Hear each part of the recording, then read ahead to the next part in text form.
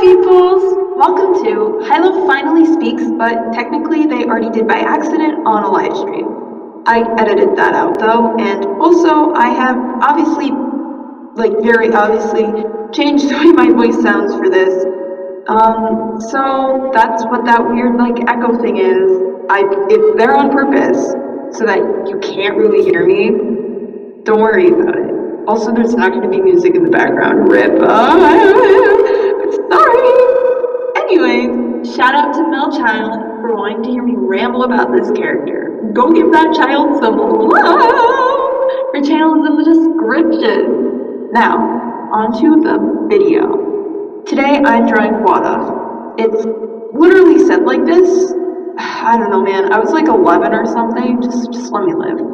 She's an OC that I absolutely adore. You might recognize her from my most recent map part.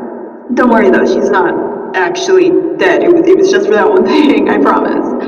Like literally all of my characters, Quad Fear started as a character for role-playing Warrior Cat on Minecraft.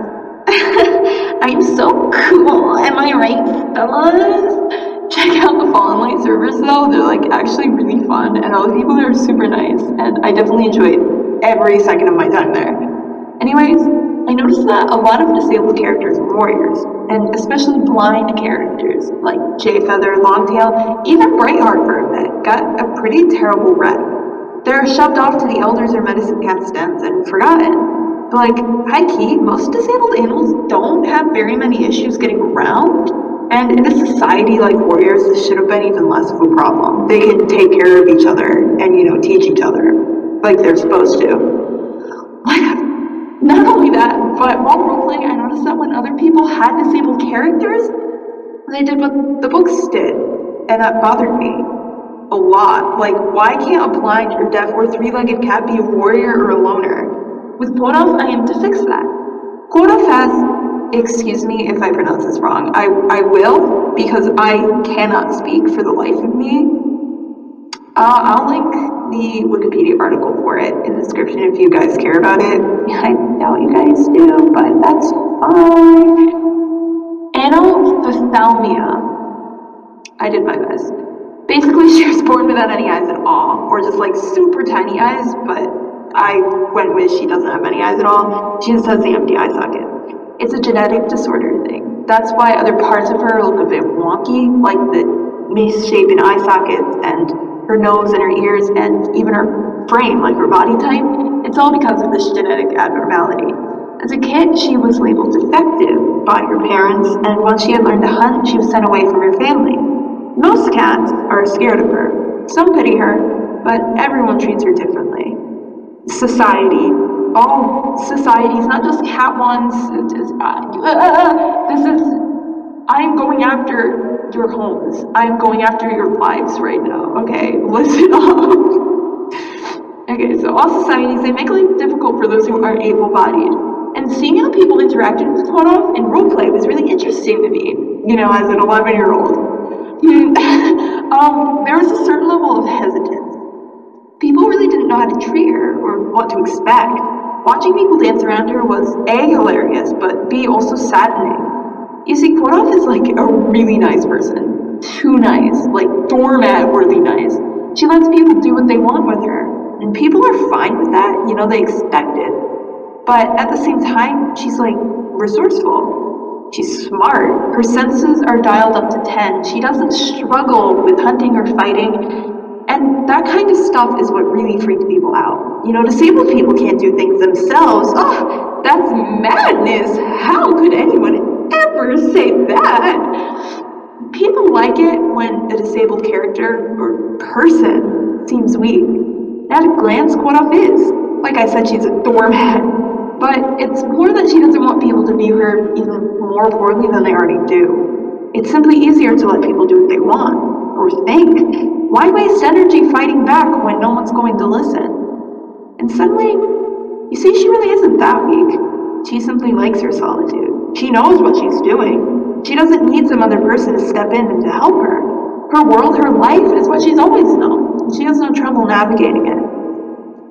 You know, this really wasn't so much rambling about Quodov as it was rambling about, you know, America? Oh, but oh well, It'd be like that. now, here's the original description I wrote for her. Be warned, it's really chunky and also old. I've changed a lot of stuff since I wrote it originally, so take it with a grain of salt. Quora, or Quaking of the Fierce, I made it like an acronym. Yo, don't at me. She's a tall, thin she-cat with short, pointed fur. Her base coat is yellowish, while the pointed areas, her face, ears, tail, and paws, are a greenish color. She has a few scars and keeps vines tied to the left side of her body. There is no fur at her nose or at the center of her ears. There are three purple-gray spots on her chest, a tan spot on each of her ears, under her eyes, and a tan spot on her tail. There are stripes the color of her base coat in the middle of her muzzle and going from the top of her eye socket. The underside of her front right paw is tan. She was born with the word I cannot say in both eyes. She usually keeps her eyes closed as a result. She scratches at her eye sockets when stressed, anxious, which she is often, or angry. The condition also led to other abnormalities such as breathing problems, poorly formed eye sockets, misshapen ears, and a malformed nose. This is why there is no fur at her nose. Most other cats are scared of her and avoid her when possible. She's a bit of an urban legend in her area, and kids are told to avoid the eyeless goblin living in the caves. Her parents abandoned her when she was weaned, thinking she was a curse. She has some trust issues because of this. She's a loner and is able to hunt quite well, despite her condition. Some kind humans also feed her every other day. She uses her whiskers and tail to guide her. She isn't fond of her solitude, but is too nervous to seek a friend. Most of the time she sits alone in fields, smelling flowers and searching for prey.